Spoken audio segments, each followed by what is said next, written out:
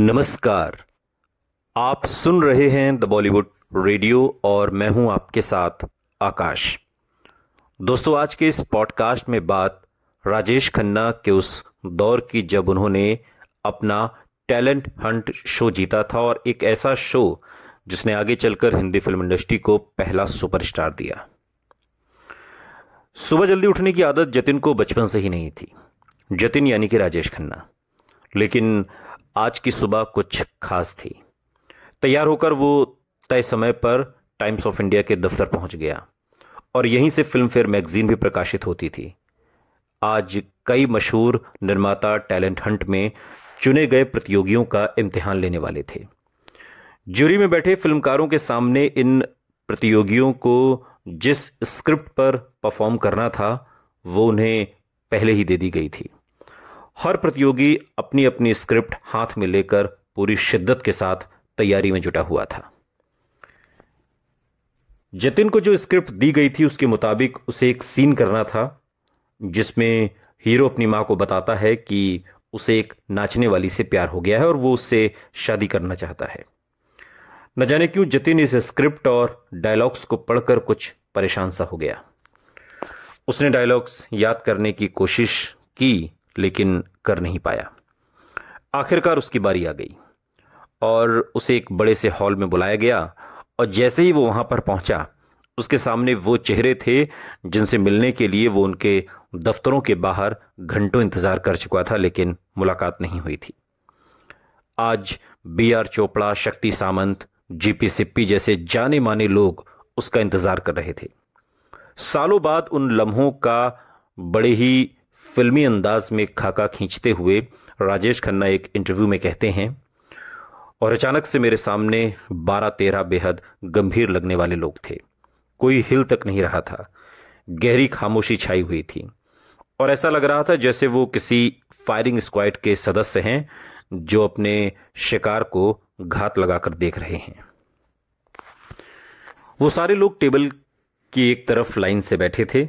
जतिन दूसरी तरफ़ बैठ गया और उन्होंने कहा कि हमने आपको एक डायलॉग भेजा है। वो याद किया आपने? जवाब देने से पहले जतिन ने कुछ पल सोचा। डायलॉग तो याद है, लेकिन ये जो डायलॉग है, ये आपने नहीं बताया कि इसका कैरेक्टराइजेशन क्या है। कि ये हीरो जो है, वो अपनी माँ को बताता है कि मैं एक नाचने वाली से शादी करना चाहता हूँ और इसको तेरे घर की बहू बनाना चाहता हूँ। इस स्क्रिप्ट में न माँ का किरदार बताया गया है, न ही हीरो का। हीरो अमीर है, गरीब है, माँ सख्त है, कड़क है, नरम है, मिडिल क्लास है, आदमी पढ़ा लिखा है या अनपढ़ है। जतिन ने ये सवाल अपने थिएटर के अनुभव के आधार पर पूछे थे। लेकिन निर्देशक बी आर चोपड़ा को शायद लगा कि ये लड़का बातों से इंप्रेस करके बनने की कोशिश कर रहा है।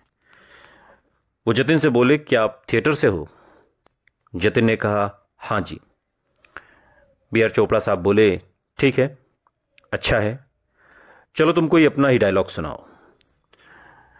जतिन ने शायद ऐसे जवाब की उम्मीद नहीं की थी। उनकी बात सुनकर अचानक जतिन के पसीने छूटने लगे।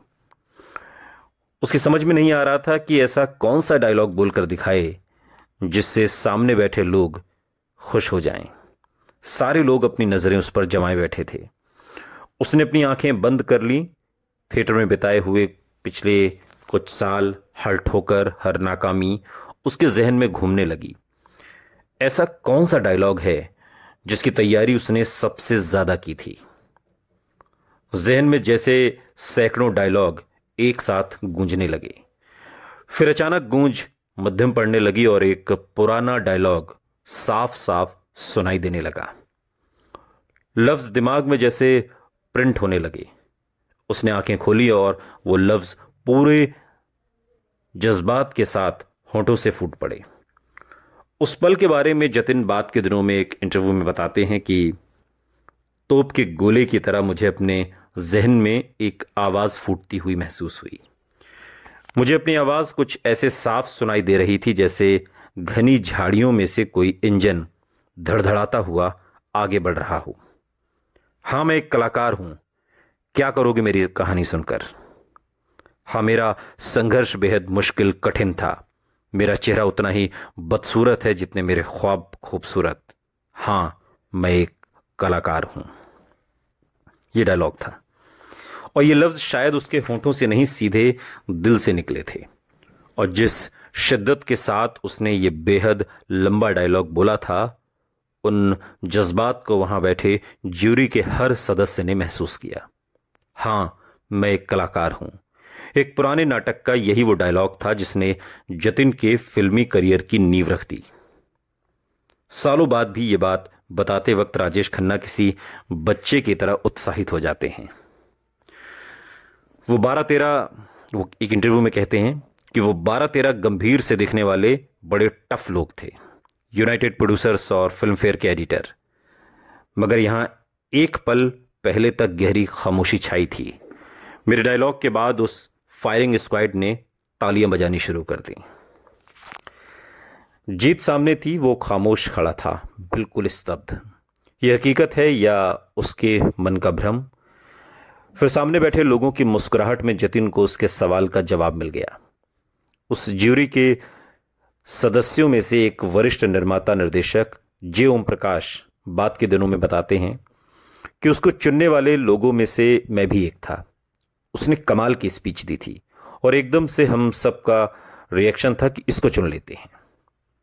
वो काफ़ी लंबा परफॉर्मेंस भी था और उसे देखकर हमें एकदम से लगा कि उसके अंदर वो प्रतिभा है जो एक इमोशनल एक्टर में होनी चाहिए।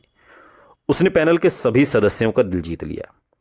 हमें अपने सिलेक्शन पर हमेशा गर्व भी रहा क्योंकि हमने सुपरस्टार चुना था।